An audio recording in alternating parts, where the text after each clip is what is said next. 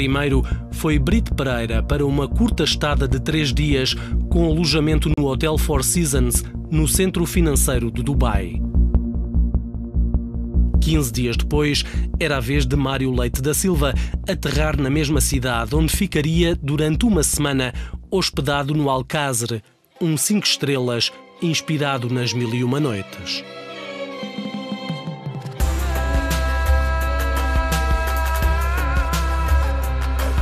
O Dubai exerce um verdadeiro fascínio a gente com muito dinheiro.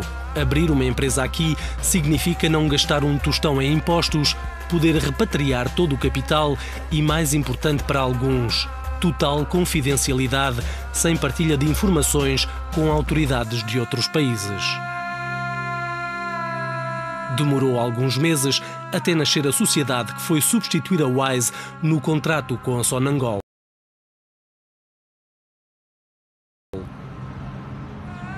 Com morada nesta torre dourada,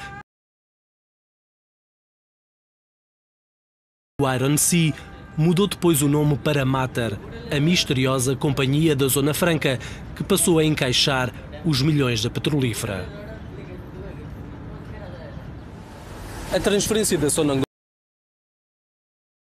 feita a partir de uma conta no Banco Bica em Portugal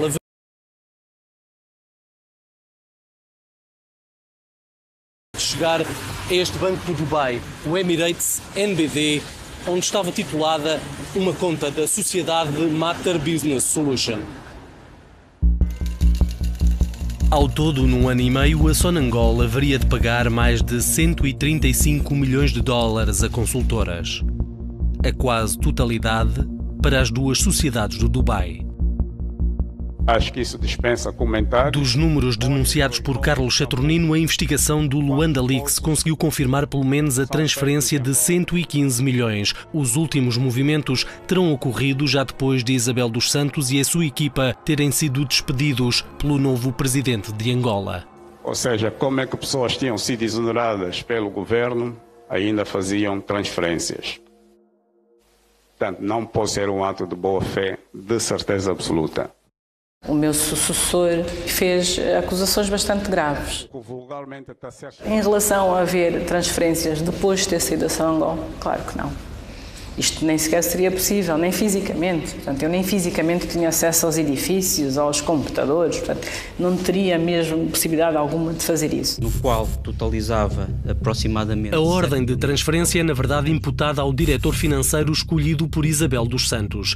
Licenciado na Universidade Católica, em Lisboa, antigo auditor da PricewaterhouseCoopers, Sarju Raikundalia nunca chegou a ser ouvido pelas autoridades angolanas.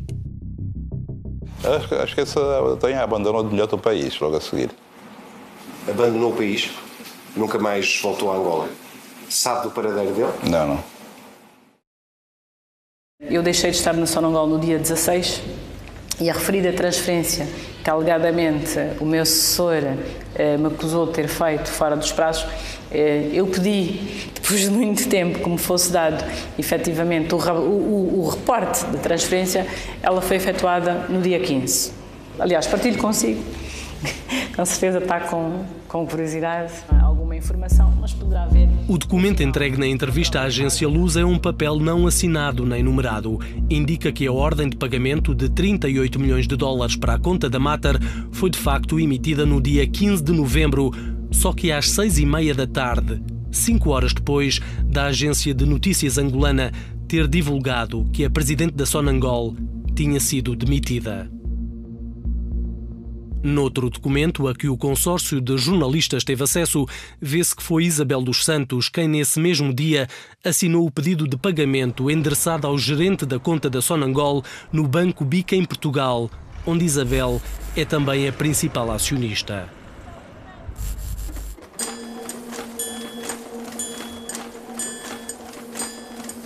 No dia da exoneração e na quinzena anterior, as máquinas não pararam.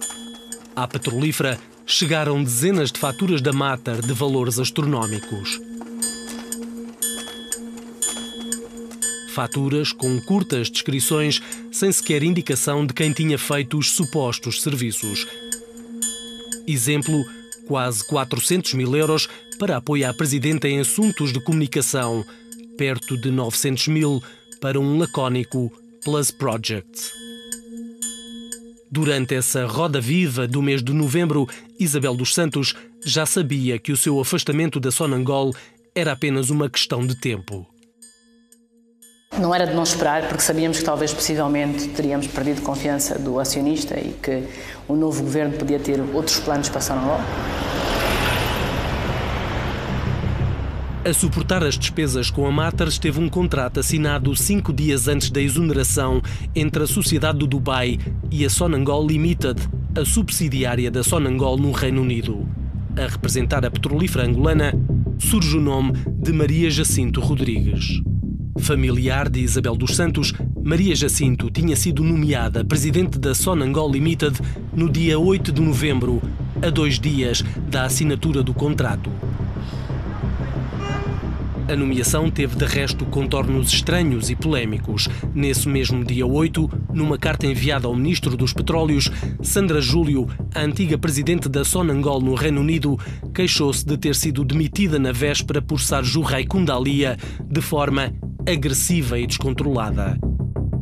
O espanto foi ainda maior quando percebeu que o despacho que nomeava a sua sucessora, assinado por Isabel dos Santos, estava datado de 30 de agosto, mais de dois meses antes da substituição.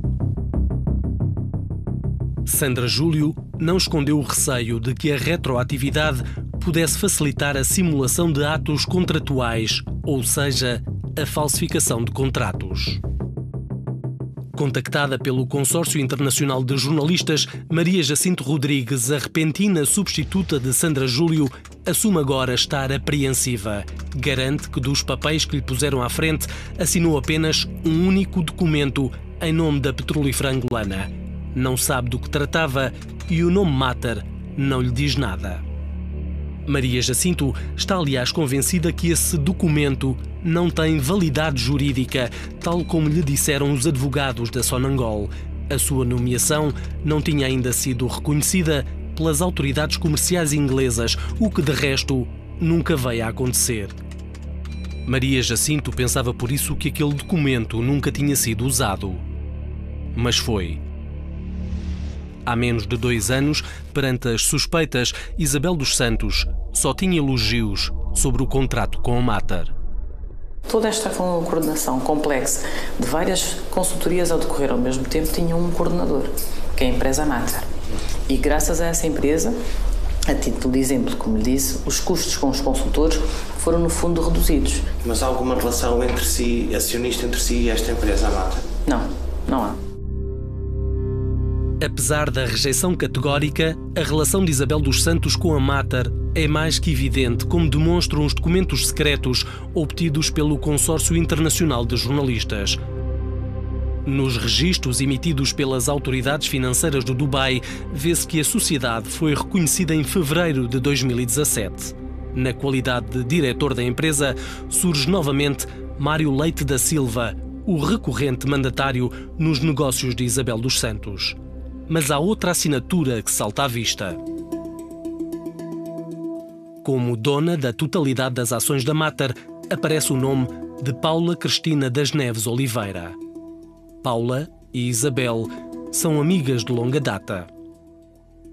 Portuguesa, há anos a viver em Angola, Paula Oliveira é casada com Luís Tavira, diretor-geral da Soclinker, uma empresa angolana de transportes que pertence à Sindica do Colo. O enlace de Paulo e Luís na cidade italiana de Florença teve honras de reportagem fotográfica numa revista internacional da especialidade.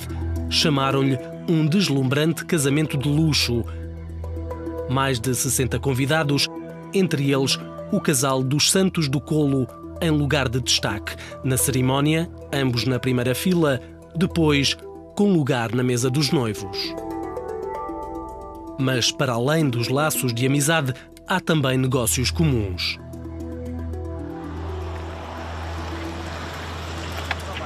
São sócias no UCall, uma empresa de call center em Angola, e num requintado restaurante em Luanda.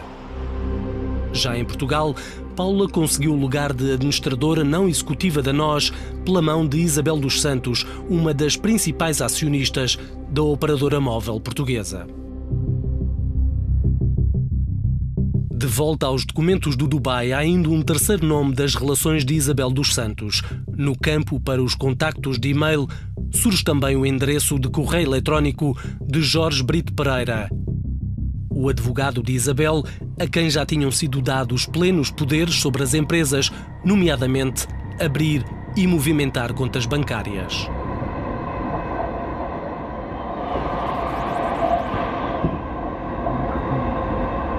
No Dubai, entretanto, já quase não há vestígios da Mater.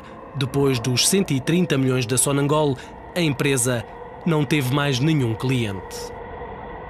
No início do contrato milionário com a Sonangol, a morada da Matter Business Solutions era nesta imponente torre no centro de empresas offshore do Dubai. No espaço de dois anos, no entanto, tudo mudou. A Matter deixou de funcionar, abandonou o edifício dourado e está agora em liquidação.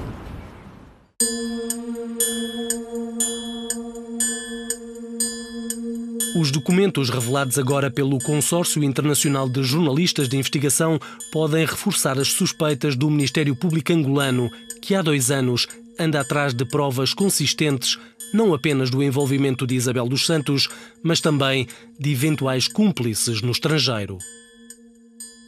Já foi pedida colaboração internacional neste, neste processo? Pois nós temos pedido. A Portugal, temos du pedido. Dubai. Temos pedido a vários países. É uma caça às bruxas, disso não, não há dúvidas. Que se me pergunta se há perseguição à família do antigo Presidente dos Santos, sim, há, claro. E vão esperar até quando para ouvir a engenheira Isabel dos Santos? Temos que ouvir aqui no país, não? Mas podem, por exemplo, emitir um mandado de captura? Isso está previsto? Não. A lei damos essa, a lei damos essa faculdade caso haja depois um processo de crime, crime em curso. E, portanto, no caso dela, se a lei permitir tal, nós utilizamos todos os meios que a lei nos, nos permite. Não é? Eu acho que hoje, para mim, eh, estar em Angola não, não seria um sítio seguro. Nascida no Azerbaijão, onde praticamente não viveu, Isabel dos Santos identificou-se sempre com a nacionalidade angolana. Mas no ano passado, a filha do ex-presidente passou a apresentar-se como cidadã russa, com morada no Dubai. Será aqui que vive? Ou será em Londres? Ou no Mónaco? Ou neste apartamento de Lisboa?